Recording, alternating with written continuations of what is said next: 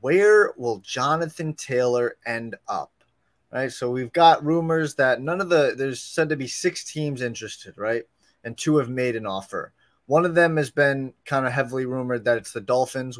Dolphins are one of the teams interested, and Dolphins are the one of the teams that made an offer. Uh, we talked a little bit before, briefly before air. Uh, the Bears have been interested. The Eagles have been interested. Uh, apparently, uh, the Rams, I think, uh, are rumored. The Bills, the Chiefs, all teams that basically need running backs, right? So I say all that. He's got till August 29th, five days to see to you know find a suitable trade partner for the Colts, which is very weird. Uh, I thought it was the GM's job to find the trade, um, not the player's job, but you know, whatever. Uh, I could be wrong, I guess. Where do you think Jonathan Taylor ends up, Justin?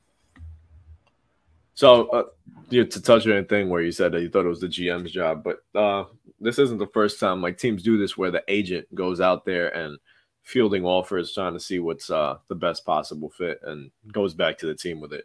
But best possible fit, it'd be hard for me to see Miami whiff on another running back, losing out on Dalvin Cook, a guy that's a Miami boy. Uh, so missing out on him, and now another big running back gets on the market where you can take some pressure off of Tua's back. I think Miami would be the perfect fit. Now, is that the fit that I want? Absolutely not. I think Buffalo should be all in on on Jonathan Taylor. Jonathan Taylor, while he's not utilized in the passing game, he can contribute in that in that field, but he's an absolute horse. And, and I've been talking for now. We've been doing this podcast for over a year, where I've talked about the need for a big time running back, a need for a guy to to be a bell cow and give and take 25 carries. And so Josh Allen's not the one running but Jonathan Taylor will be. And I think that will make that offense just that much more dangerous. But there's a lot of teams that you can go with. I, I mean, I love having fun and and going over the options. I mean, you look at Miami, you look at Buffalo, Philadelphia is rumored to be interested, and they have D'Andre Swift and Rashaad Penny already, and an insane O line. So you add Jonathan Taylor to that, that dude's just going to be running through gaping holes all season long. So it's it's definitely an interesting one, but my guess is going to be Miami.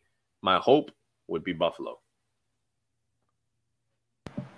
Yeah, I mean, you, you, it's it's a tough one to think about, right? Because there's some like the Colts obviously probably want a first round pick, right? And mm-hmm. I think that they are in in their right to ask for that. The kid is 24 years old, Justin, uh, and he doesn't turn 25 until the new year in January it's his this is going into his fourth season. He's had a historically great season 1,800 yards, 18 touchdowns. Will he ever reach that pinnacle again? Who knows? Did he did he peak that season? Was that was that it? I'm not saying he's not going to have another great season, but will he ever reach that pinnacle? I don't know, but I would say that this this guy is in in route to probably have a couple, if not several, thousand yard seasons uh, wherever he goes again, you bring up Miami, you bring up the Philadelphia Eagles, you bring up Buffalo. To me, it just it's it goes back to the thing because whoever you whoever trades for Jonathan Taylor, right, Justin, is gonna have to you know pony up. They're gonna have to empty the uh, the Brinks truck because that's the whole reason he's leaving the Colts is the Colts aren't willing to give him the contract extension he wants so it just it just goes to Buffalo. Buffalo didn't get DeAndre Hopkins because they couldn't offer him the money.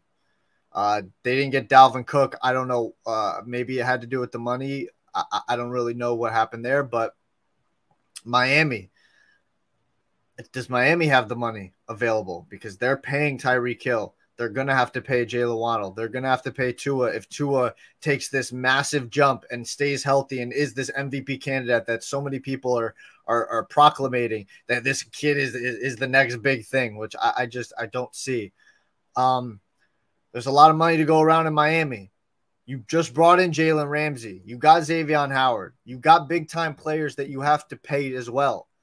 Paying Jonathan Taylor is that tough when you know Mike McDaniel comes from a system – like the 49ers, Kyle Shanahan, where it doesn't matter who the running back is. Yes, is it awesome that you can have a CMC like the Niners have now? And does he upgrade the running game? 100%.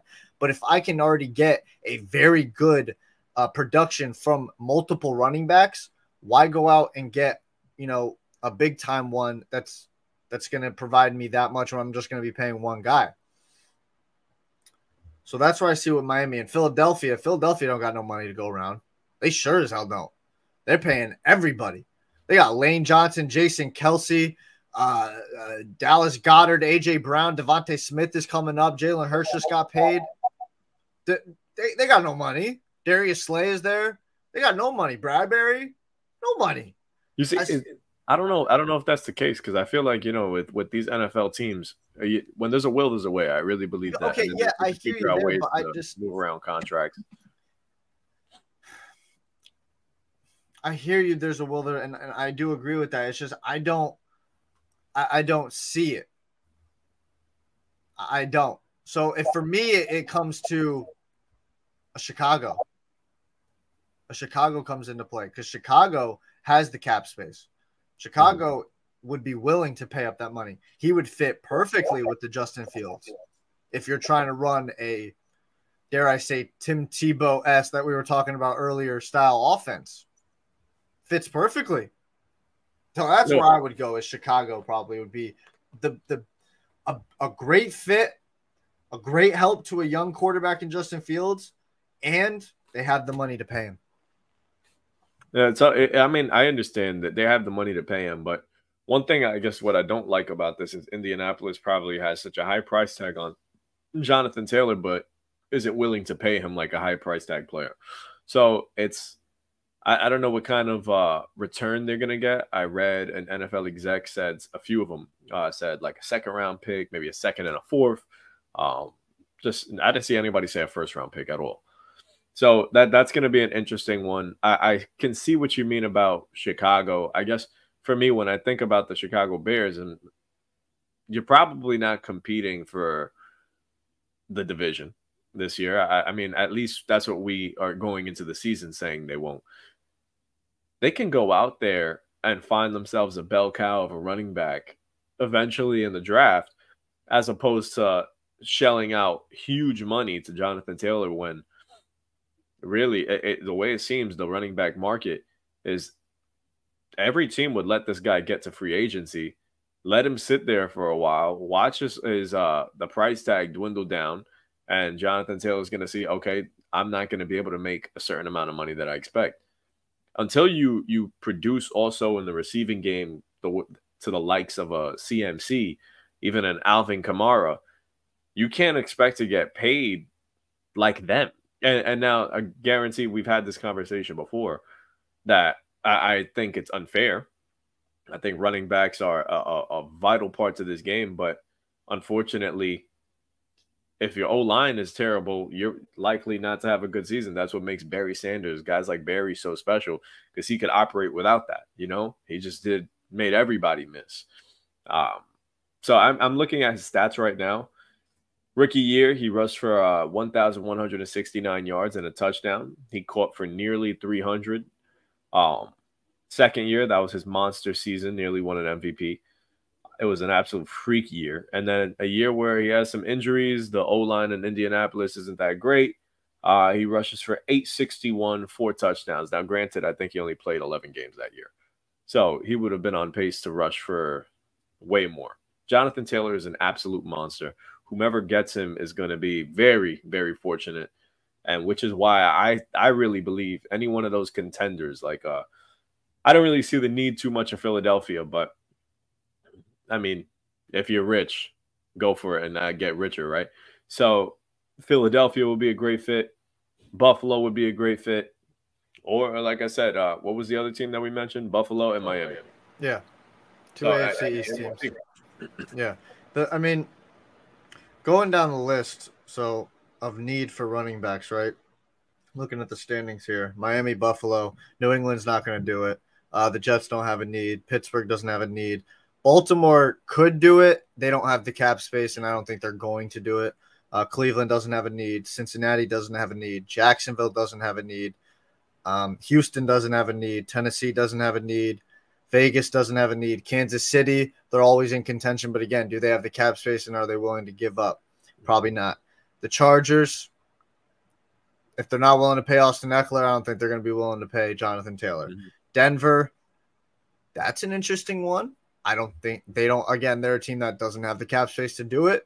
Um, Washington, there, there's another team. Washington was kind of rumored to be interested because they do, while they have solid running backs, they could be interested in that, and he could really help out Sam Howell, taking a lot of pressure off of him. The Giants don't have a need. Philadelphia, we mentioned. Dallas doesn't really have a need. They got Tony Pollard, and I don't think they're going to be willing to pay up there. They got a lot of other positions to pay up.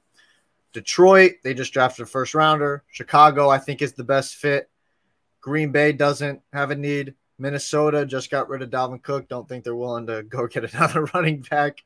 Uh, New Orleans is good. Atlanta's good. Tampa probably not. Carolina probably not going to be interested, even though there's a need there. And then Seattle is okay. San Francisco is good. Arizona, he probably doesn't want to go there. And then the Rams, like I said. So there's teams out there.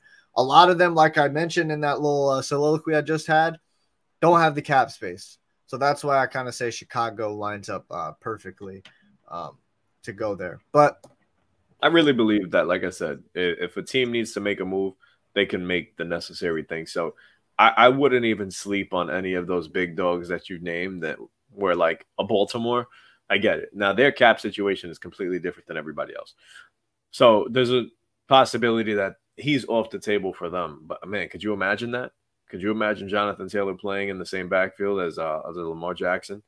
But also, you look at teams like uh, not necessarily Cleveland, but a two running back head. So imagine. I, I now it's just my mind just hoping for chaos and just envisioning things like this. But Jonathan Taylor to the Chargers. Austin Ekeler is an excellent receiving back, but he quite he doesn't have that, you know, that punch as a running back that the Jonathan Taylors do have. So imagine a duo of that out in LA with the Chargers. That offense is already expected to be explosive. So if I saw that, oh my gosh. I'd see like Cincinnati, Joe Mixon has some inconsistencies sometimes. So you add another guy to pack a punch. But there, there's so many teams that you could, I guess, finagle with and you could see a fit for Jonathan Taylor. But at the moment, it's just uh maybe even KC is a sleeper, but like I said, I, I think Buffalo needs to pony up and go get that big dog, bro. Go get him because you're going to play in some tough climate in December. You need somebody that's going to be able to run downhill. At the end of the day, Tennessee has shown you they can win playoff games in the in, in the cold months. Why? Because you got a big bruiser like Derrick Henry just running over you. So you go and you add Jonathan Taylor into that. Buffalo's going to look okay. Um, you know, Denver for me is sleeper because that's what they're trying to do mm-hmm. is start up that run game again and, and make it easier on Russell Wilson. Um, yeah, we don't know what Javonte Williams is going to look like. Yeah, coming off the ACL injury. So that, that's why I, I mentioned them as well. But a lot of options out there for Jonathan Taylor. He's got five days to make a decision, Justin. But uh, moving on to the